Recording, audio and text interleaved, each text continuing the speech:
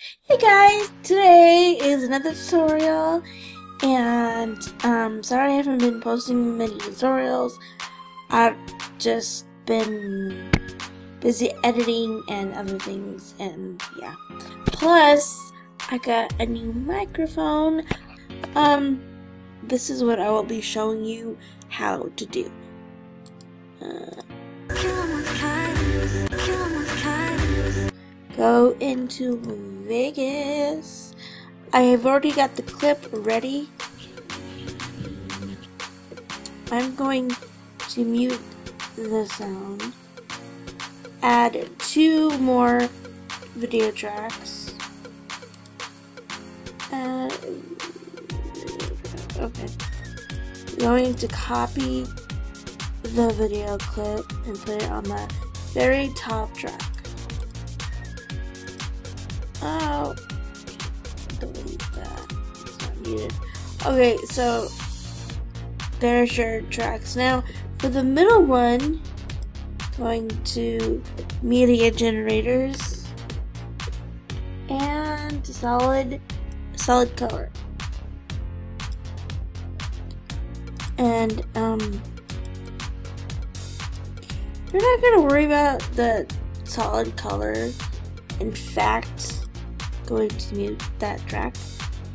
So now what you're going to do is go to your pan and crop on the top track and then mask. Make sure this thingy is on or else your frames won't you'll be able to tell which frame you're editing or yeah so and then go to your masking tool um, I just want to note that recently I've been watching some masking tutorials, and for the longest time, I would like mask, and then if I needed to zoom, I would hit the arrow key or the mouse key, or yeah, the pointer, whatever you call it, to zoom in and to move around and then I would have to go back to that and then hit that and then keep going. No, you don't need to do that. You could be either on that point, the normal edit tool, or you can be on the mask tool. And if you have to go back and forth to either one of these, you just hit the control key. Like, it's that easy. Like, it makes things a lot smoother. Okay, enough rambling. So, you know, um, I'm already on the uh, zoom in, zoom out tool, so I'm just gonna hit control. Actually, I'm gonna zoom in a little bit. Okay, hit control and then just start masking. Now, for this tutorial, I'm not gonna be super precise I'm just going to give you a general idea of what I'm doing here, and then you can take it from there and be as precise as you want to be. So make sure the little triangle thing is at the end or else she'll start a completely new mask. But trust me, I've done that before. I didn't connect it properly and halfway through the masking, I was like, oh crap. Okay, so as you can see, she's masked.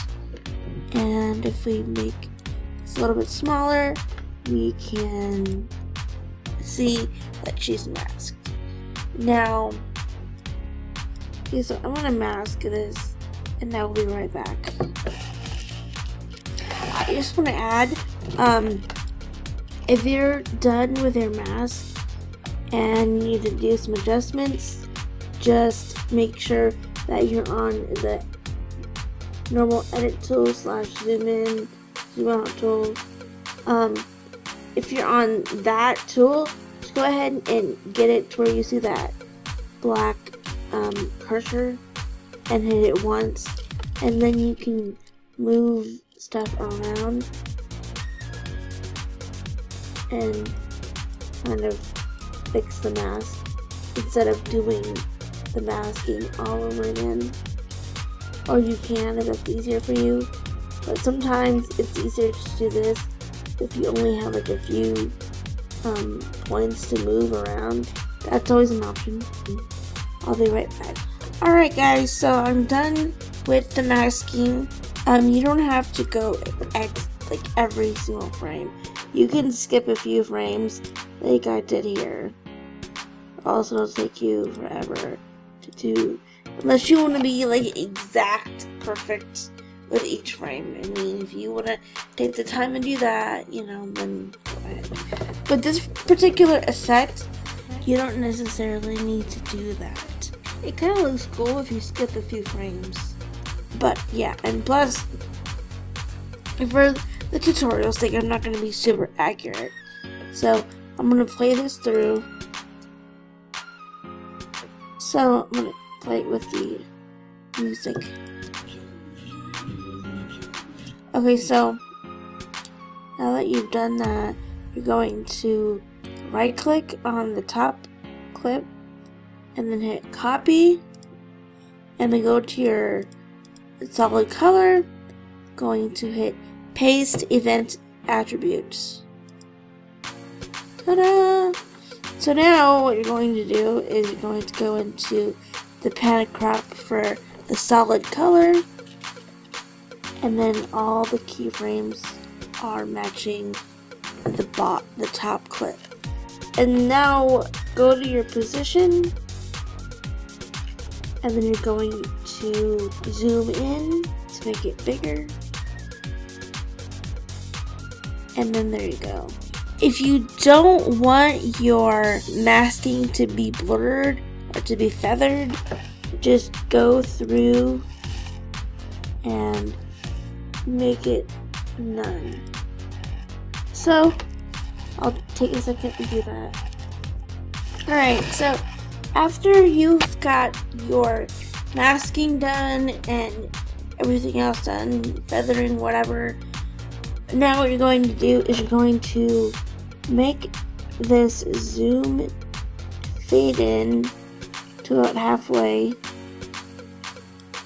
and then go into transitions. Now you can pick whatever transition you want to use, but me personally, I think it looks best when you use linear wipe and then the preset left to right, hard edge. But this to me personally looks the best. So I'm gonna play it for you.